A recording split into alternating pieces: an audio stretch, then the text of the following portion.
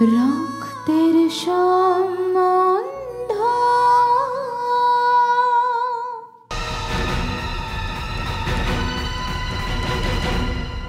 Thank you DCP sir আমার সন্দেহ হয়েছিল। তাই ভাবলাম আপনাকে জানিয়ে দিই।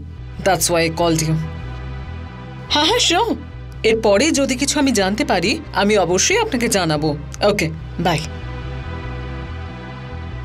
তুমি আমায় ডেকেছো?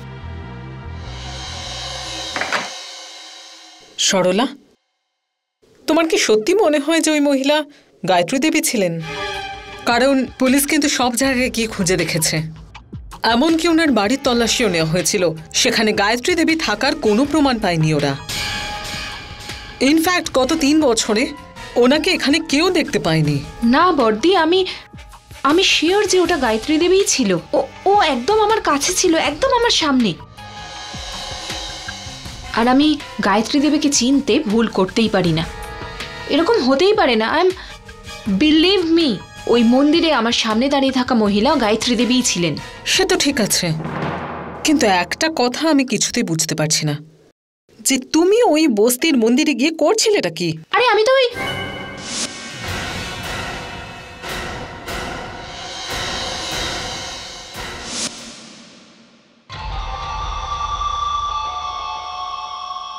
আমি আসলে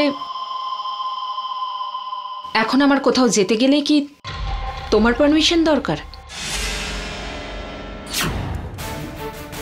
কেউ একজন একদম ঠিক কথাই বলেছে। যখন নিজের উপর সমস্যা আসে না, তখনই বোঝা যায় কে নিজের আর কে সাথে দাঁড়িয়ে থাকে। আজকে যখন বৃন্দা কয়েকটা টাকার বিনিময়ে খুব সহজে আমার সমস্যার সমাধান করছে, তখন সবার খুব অসুবিধা হচ্ছে। সরলা কিংবা বৃন্দাকে টাকা দেওয়া পছন্দ করছেন না। আই মিন আমাদের খুশির সামনে টাকার কি মূল্য আছে, মা? ওরা সবাই এই বাড়িতে নিজেদের ইম্পর্টেন্স কম হতে দেখছে বলে তাই জন্য সবাই নিজের আসল রূপটা দেখাতে শুরু করেছে। ছাড়ো। আমি এখানে এইসব কথা বলতে আসিনি। আমি এখানে এসেছিলাম কারণ ওই ওই বৃন্দাকে আমি কোথাও দেখতে পাচ্ছি না। ও কোথাও নেই, ওর নিজের রুমেও নেই। আমি ভাবলাম হয়তো এখানে আছে। হবে হয়তো কোথাও।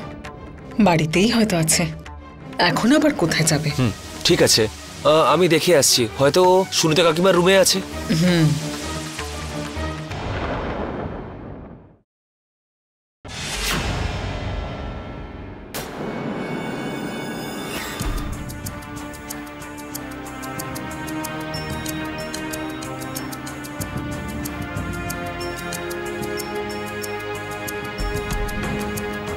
হ্যালো।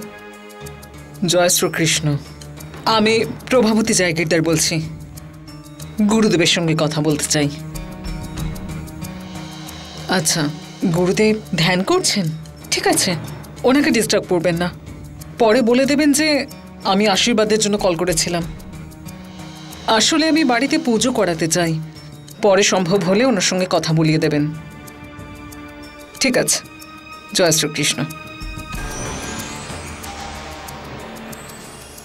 মনে হচ্ছে সমস্যার সমাধান গুরুদেব করতে পারবেন। ধাঁধার সমাধান উনি করতে পারবেন।